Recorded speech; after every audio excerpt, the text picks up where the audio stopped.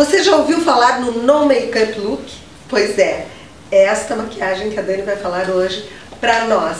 Dani, o que, que é essa maquiagem que quase não é uma maquiagem? É, quase nada, na verdade, né?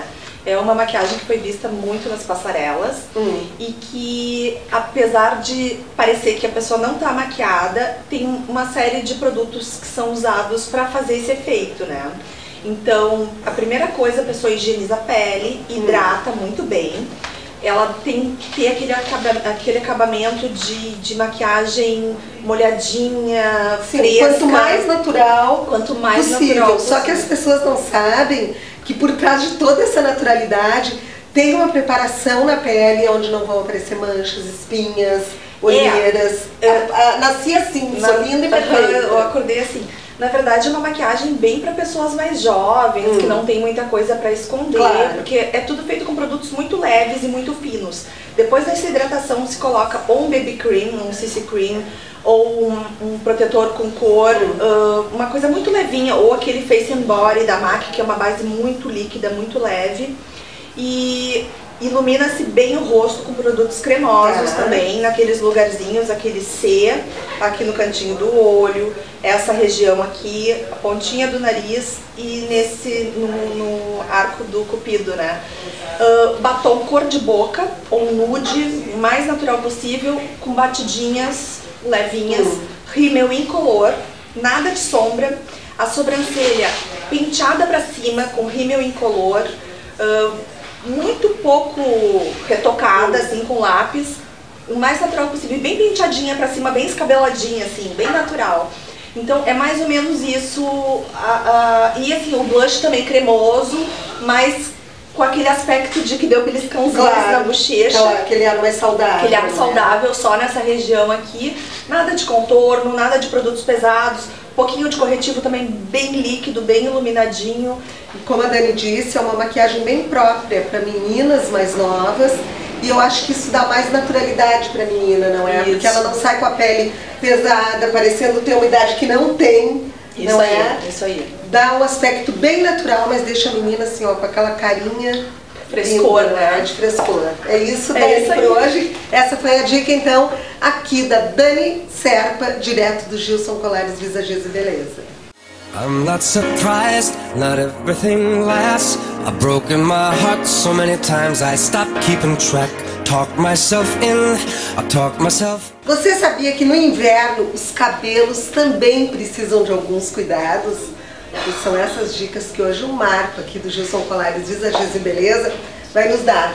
Marcos, as pessoas pensam que não precisam fazer nada no inverno, entrar embaixo d'água quente, Exatamente, fervente. exatamente. Tudo vai estar solucionado. O Não. que, que é proibido no inverno e o que, que é permitido? As temperaturas caem lá fora e a gente aumenta aqui dentro, Sem né? dúvida. Então a água fica mais quente. E com isso, Carmen, causam dois problemas. Couro cabeludo oleoso, Uhum. tá? E as pontas ficam secas, dilatam a cutícula por causa do calor.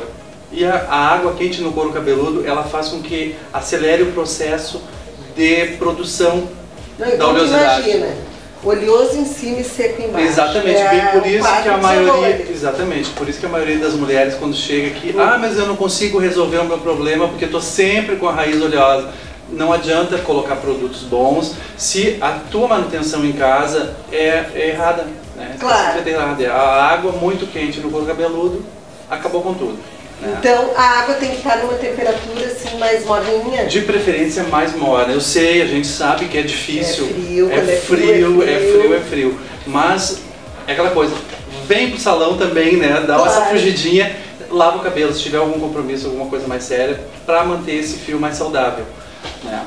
Outra dica que a gente dá, Carmen, é assim, ó, não dormir de cabelo molhado.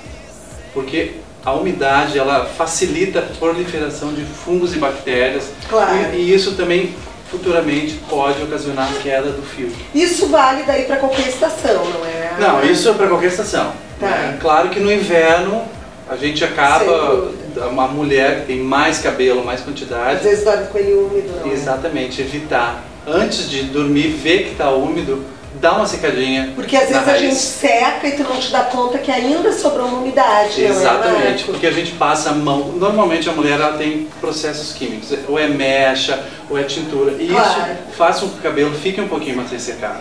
Então tu tem a falsa sensação de que o cabelo está seco, porque tu passas as mãos no fio, ah, o comprimento e ponta seco, mas a raiz ainda permanece úmida. Então a raiz tem que estar bem sequinha. Primordial, principalmente no inverno, raiz sempre seca. Ah, e o secador, tu pode usar ele no, no quente mesmo? No quente, no morno. É bom dar uma distância assim de uns 15 a 20 centímetros do fio, não Ah. muito próximo para evitar de queimar a cutícula, né? Porque acaba queimando a- a- o fio. Claro, sem dúvida. E outra coisa, Carmen, assim, ó, o uso de protetor térmico Hum. no fio no inverno. Porque as pessoas acham que só no verão eu posso botar Claro. protetor porque tem o calor, tem o sol. Não. Você vai usar temperaturas de de secador, de chapinha, Babyliss.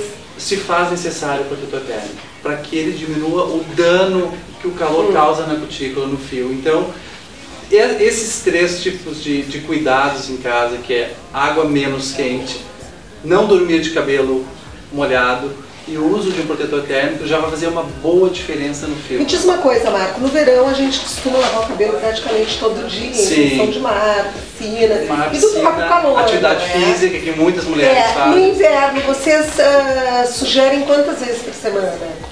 Se a pessoa tem uma atividade física regular, dependendo da necessidade, ela vai ver. Ah, o meu fio hoje está mais oleoso. Tá? Claro. Então, não tem problema. Desde que não exceda demais, assim, ó, três, quatro vezes na semana.